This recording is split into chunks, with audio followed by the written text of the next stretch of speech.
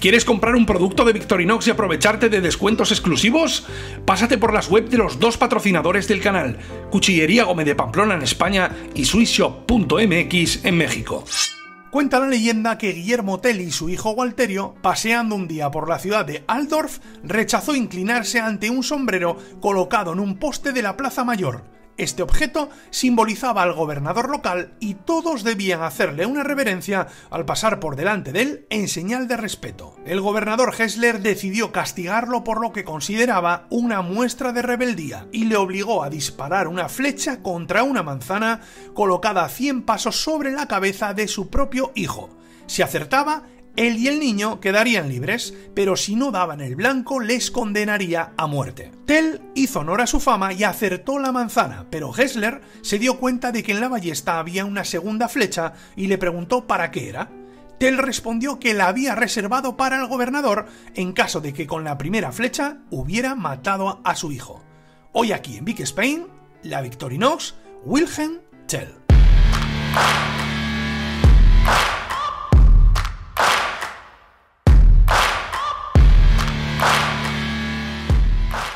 Bueno, pues estamos de vuelta y como antes os decía, hoy vengo a presentaros la Victorinox Wilhelm Tell, una edición que no solo homenajea al famosísimo héroe nacional suizo, sino también viene a conmemorar los 700 años de la fundación de la antigua Confederación Suiza, un hecho también muy relacionado con Guillermo Tell, por haber sido una parte muy importante en Suiza y en la lucha de su independencia, aunque muchos historiadores dicen que realmente no existió y que solo fue un mito. Bueno, y una vez hechas las presentaciones, vamos ahora sí con esta pedazo de edición que hoy os traigo y que Victorinox sacó a la venta en 1991.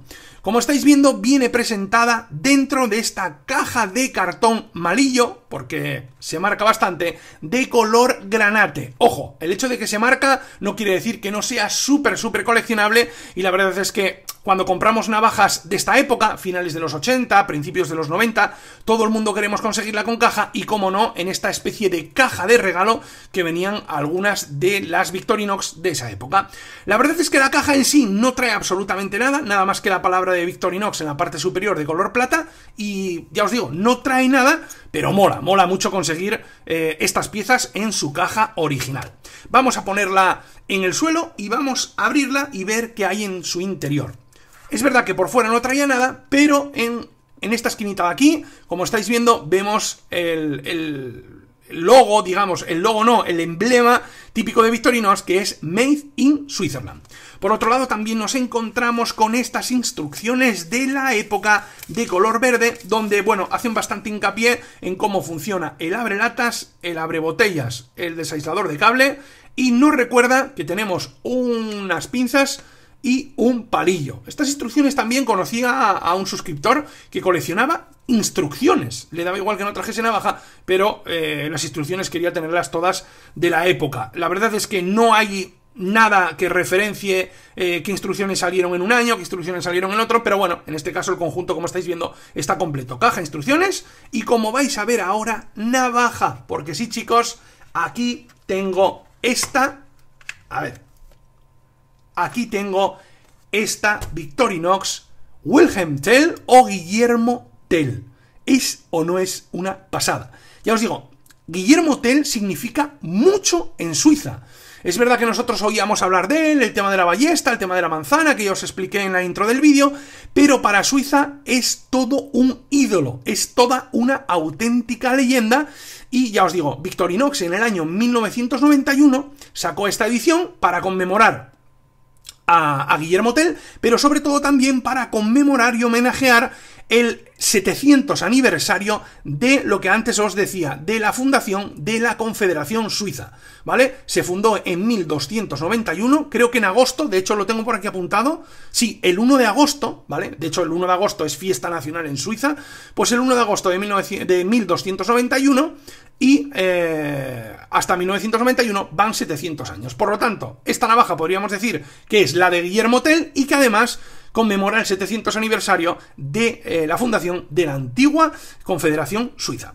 Como estáis viendo, para los más vivos, Este modelo por la parte de atrás no trae nada, pero eh, es un modelo eh, de dos capas de Victorinox, fabricado en 91 milímetros y obviamente lo que os acabo de contar. Lo más importante eh, son esas cachas rojas con el estampado grabado en la cacha superior mediante tampo prim, ¿vale? Tengo un documento oficial de Victorinox donde nos indica la técnica, digamos, usada para hacer este grabado. El modelo elegido por Victorinox para homenajear y para esta edición es el modelo Spartan de 12 funciones. 12 funciones que vamos a ver ahora mismo. La verdad es que digamos que es una Spartan muy normal, muy parecida a la que podemos encontrar hoy en día, a pesar de que tiene 33 años, ¿vale? Pero, oye, eso no quita de que la veamos porque tiene alguna diferencia con las que hoy podemos encontrar. Como estáis viendo, Comenzamos por la hoja grande. Esta, esta edición a mí me llegó, no la he tocado. Yo creo que no está usada o si se ha usado es poquito, la, alguna herramienta está manchada, pero no tiene ningún desperfecto digno de mencionar. Como estáis viendo, el grabado que lleva en la hoja sería eh, Rosfrey, porque en esa época se utilizaba el grabado Rosfrey, y por atrás la ballesta, fijaros lo importante que es la ballesta, ¿vale? La ballesta de Victorinos viene mucho de Wilhelm Tell.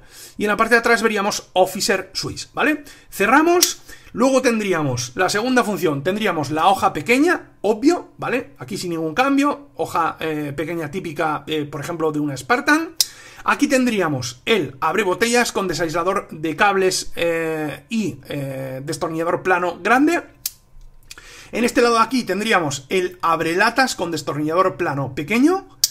Y en la parte de atrás tendríamos el punzón escariador, en este caso también con ojal, porque esta navaja, como antes os decía, salió a la venta en 1991, por lo tanto el ojal es de 1985, tiene que tenerlo sí o sí, pero algo que nos llama mucho la atención es el sacacorchos, que como estáis viendo ahora mismo, el sacacorchos es el estriado, que justo cambió en 1991 a ser, digamos, enterizo, a ser completo.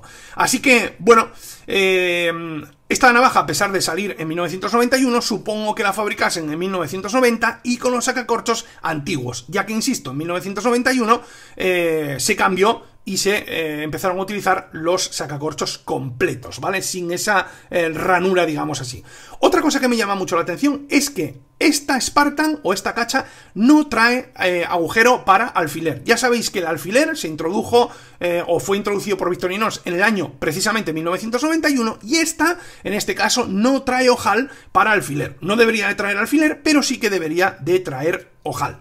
Las últimas funciones serían el, eh, perdón, las pinzas, la anilla y ya por último el palillo. 12 funciones para esta Spartan Wilhelm Tell, que como estáis viendo, el dibujo es una pasada. Supongo que después de haber visto la historia de la intro ya sabéis quién son. Guillermo Tell y su hijo eh, abrazándose yo creo que después de haber conseguido eh, darle a la manzana y no a la cabeza. Ojo, quedaros porque os voy a dar también otro dato muy importante y que quizás no sabíais. Mediante un documento oficial que yo tengo en mi poder y que Victorinox ha hecho para registrar la gran mayoría de ediciones especiales que ha hecho y ha fabricado a lo largo de su historia, bueno, pues a través de ese documento, Victorinox nos dice que de esta Spartan Wilhelm Tell se fabricaron 53.440 unidades, aunque en la propia navaja no lleve nada grabado aparte de, del Guillermo Tell y su hijo, ¿vale? Pues según ese documento, repito, oficial, Victorinox dice que se han hecho esas unidades.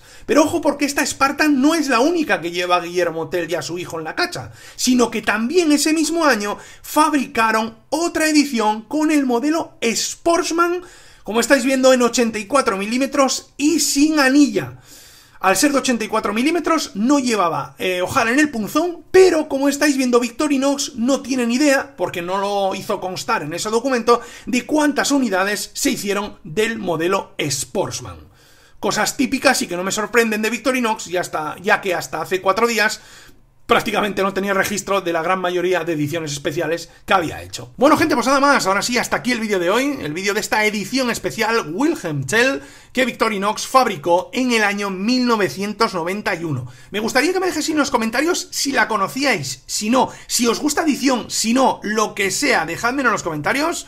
Como no, apoyar el vídeo con un gran like, suscribiros si no lo estáis y si ya lo estáis, no olvidéis activar la campanita. Nada más, nos vemos en el próximo vídeo, donde si no, aquí en Big Spain, en vuestro canal favorito de Victorinox y también de Wenger, no lo olvidéis.